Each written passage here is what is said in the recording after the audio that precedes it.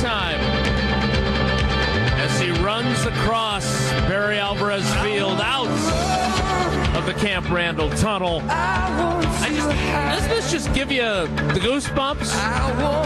I mean, maybe not that you're excited to talk to Derek, but certainly as you envision the Badgers running out onto the field. And certainly when you think about if you need some IT solutions, knowing that PDS is going to help you through them. PDS, been providing technology solutions and transforming IT for area companies for over 30 years. PDS is giving today's worker the true ability to work from anywhere as they balance work and life.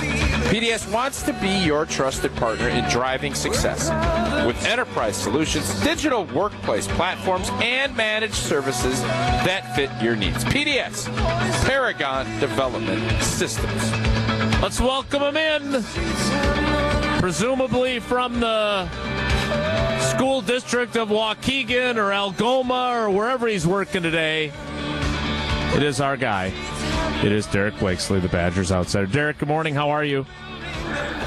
I'm like everybody else. I'm just trying to stay warm. I've got the I got the heating pads out. I'm in I'm in full nursing home garb. Anything to try to keep me warm. I will not be traveling to any school districts today. Are you excited for the big Reedsburg girls basketball game against Oregon tonight, Derek, which you can hear on 100.5 ESPN Madison? It's the Um, Blakes yes. Bowl.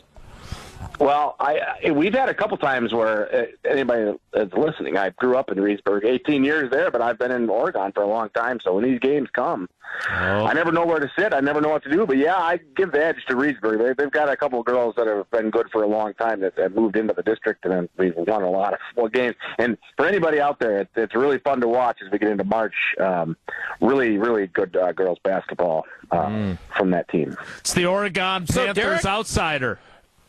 So, Derek, Wow. where are your allegiances? Because all I ever heard, I mean, you talk about a prideful group. Anybody from Reedsburg will overly tell you they're from Reedsburg and it is the greatest place on earth. So, Derek Blakeslee, where are your allegiances when it comes to this battle that Jesse's calling tonight? I can't. I can't even. I can't. I can't even answer the question. I, I do know that it's Why? the. Uh, Whoa, whoa, whoa, whoa, whoa, whoa. No, no, no. Don't wildy it. Answer the question. Oh, boy. I mean, tells you know I have banners that hang from the rafters in Reedsburg. I understand. So that's your answer. is Tenth, Reedsburg. tenth leading all-time scorer. Well, anything that happened before I was 13 years old was pretty good. After that, it kind of kind of tailed off. you know, It's not Detroit, man. This is the Super Bowl. As, as, as long as you have a, as long as you have explained this to my, my friend Corey many times, as long as you have a peak athletically, who's to say it's any better to have the peak when you're 20 as opposed to when you're 12? I happen to be Fair. one of those that was I was I had my moments. I got older, people got taller, people got faster, people got stronger. I got none of those three things. And so here we are today. Okay, well that's yeah, that's fair. All right, Derek. So you know, normally we talk Badgers all the time, but it's all Packers all the time this week because of what happened on Saturday. Uh, the Kubler scale of grief: denial, anger, bargaining, depression, acceptance. What? Stop looking at me like that. If you were Elizabeth is the- Kubler Ross, how would you feel about the way you're describing her stages of grief? Well, that's Elizabeth what it is. Kubler Ross is her name. Yeah, you call it what you want. I'll call it what I want. The Kubler scale of grief. Where is the Badgers outsider? I think I'm so hard to answer. I feel like it, I, I've moved on to acceptance. Like I've gotten through the process, but you know, I didn't send you a text message until like yesterday. I don't know how many text messages I crafted to different people or tweets that I crafted that I never posted because I couldn't. Even the outsider, a wordsmith, a man who has spent mm-hmm. years talking with nobody caring to listen. I mm-hmm. could not find the words to Including the last describe couple years on this show. Well, again, it's you know, it's you start with the insults, and then I get all fired up, and then I don't want to be mean to you because you're a three-time writer of the year, sports writer of the year. So I don't. So then I go to my buddy Tausch, and then he gets angry with me when I start ripping on him. Yeah, I already had me- that happen today too. We're good. I, I'm on, I'm on team outsider. I don't know. I So- just got so- it's so just you're bad. at- it's bad. so but I've, you're I've at it. You're at acceptance, but why did you not send these text messages or these tweets? Were they too angry? Did you think that they would reflect poorly on you later when your emotions calmed? What? Why did you censor yourself? I didn't know where to lay the blame. I don't know where to lay the blame, and I also I've always listened to, to Tausch, and he always will say, "Hey, when we're talking about these these football games in college, the other teams got players on scholarship too. So it's like, how much credit do you give to that defense for making adjustments after the first drive or two? Um, you know, or or you talk about special teams was really ugly. The, I mean, the punt Oh, the punt. The punt was was something you just don't even see in the NFL. The, the freaking punt. But you know what that then, was right there. You know what that was? That was the antithesis of the Blue Mountains. Oh, oh the mountains. mountains. That was the oh. opposite. That was the punt. Oh, the punt. That's what that was. Continue. I was blue. I was blue after the punt. Um, but then we, you know, we didn't even we put up ten points, and in a game where we had relatively good health. And then I started to question, like, well, did we really miss MVS in that game? Uh, it, was there going to, or, and then I even wanted to feel around. Well, how bad did, did Rodgers play, or was it? Oh, God, and now you see that, that, yeah, there were definitely other guys open, and I sounds like bargaining. I up, I, that's right. I so I was moving through the Kubler the Kubler scale, um, but of course, as Packers off seasons begin, as soon as the heartache ends, you start thinking about, and all the already the narrative is sort of slid over to what's next year's team going to look at. And I figure as long as we're having that conversation, I mean, that on some level, that's that's acceptance. But holy crap! I mean, I just think the weight. What I finally sent to Tausch is. You watch the Bengals play; they got nothing to lose. They're exciting. They do their thing. You watch, uh, you watch Mahomes playing that awesome game with the Bills, and those guys are at the top of their game. They're playing in the moment. It felt like overall our team just had the weight of 10 disappointing seasons that has just accumulated over time. And then when it came time to act quickly, make the reads, and just play the game, that weight proved to just be too much. And it was, oh, God, it was bad. It was, oh, God, it was painful to watch. All right, so Derek, let me ask you and Tausch this because I, I am really curious about this. This was a debate that in in our little beat writer group we were having about the pressure on the Packers and specifically on Rodgers, okay? Because the 11 years since the Super Bowl, I mean, he may say he doesn't care about what other people think and he's not going to apologize for it. That's fine, but he probably does want to get back to another Super Bowl. And so I'm wondering, did you guys think that he played in any way like a guy that was feeling the weight and the pressure of how long it's been since he was on top of the football world? Do you think that that in any way played into his performance? I don't know. I'm just curious what you guys. Well, didn't didn't you just didn't you just listen to what I said two minutes ago? I did. Yeah, yeah, Jason. It's the it's almost like a, a geological weight that's come over time, time and pressure. Some people turn into diamonds. Some people turn into guys that put up ten points. It's just it it, it, it, what a line on Mo's. Uh, should we discuss Mohs hardness scale? Um, no, I, I, don't want to know I, anything more about Mo. No, I've had a few diamonds in my day, Jason. Let me just tell you.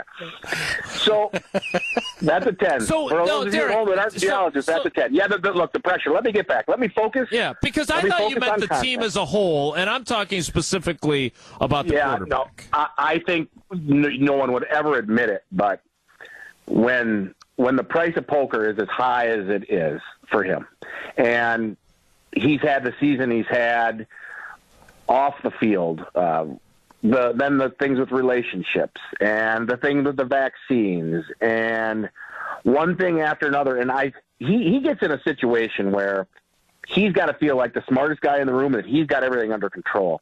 And I think it's been very difficult for him when the narrative kind of has slid out from under him and for him to have to come back and and pretend like he's been wanting things to play out that way the whole time, you know, and it, it just kind of goes back. And this is a regular fan watching him compared to some of the other guys that have big games. They're out there slinging around playing football, but that weight of just being the weight of being Aaron Rodgers and being in these situations and the circumstances, I think it definitely definitely affected his ability to process plays and to make decisions that were going to be successful in the game for sure.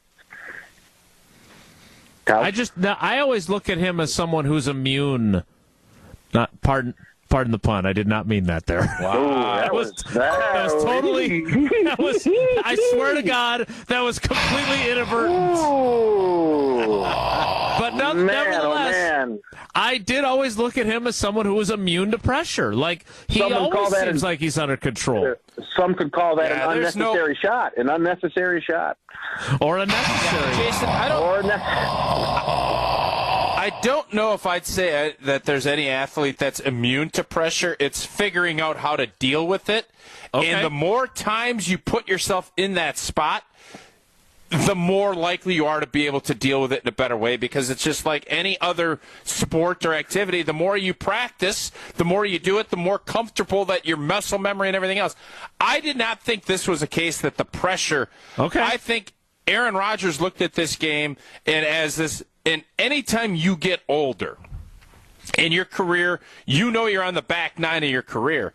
You know that the opportunities are going to get less and less, and you do press.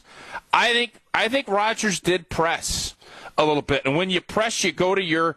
You always are going to lean on your guys. I think that's what happened once that Marcedes Lewis fumble and it, it started getting clunky. I just felt like any time it was the money was on the table, Rodgers was going to look for Davante first. It wasn't the same old, same old. So if you want to say that's pressure, I look at it as he started pressing and thinking, I'm going to go to Davante, and he had a hard time coming off of that and never getting into a rhythm on offense at all. That's what I would say. Aren't the five letters of press, ing, and pressure the same?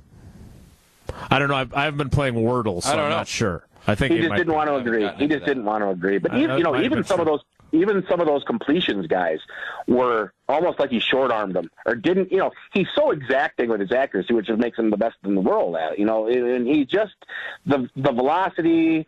The the way it came out of his hands, you could tell after some of those completions. Even he was like, "Oh my god, I, you know, I didn't lead far enough, or I didn't, I didn't get that quite high enough. I didn't catch him in stride." He he was frustrated with the way uh, the ball was coming out. I'm sure the weather wasn't helping, uh, but I tell you, Yeah. it was so weird that juxtaposition of Rodgers starting to fade and you know Barnes filling all over the place and Amos you know just hitting hard out there. And you saw that defense and you're like well we're okay. We've we've got the players making plays on, on D. The offense eventually the floodgates are going to open.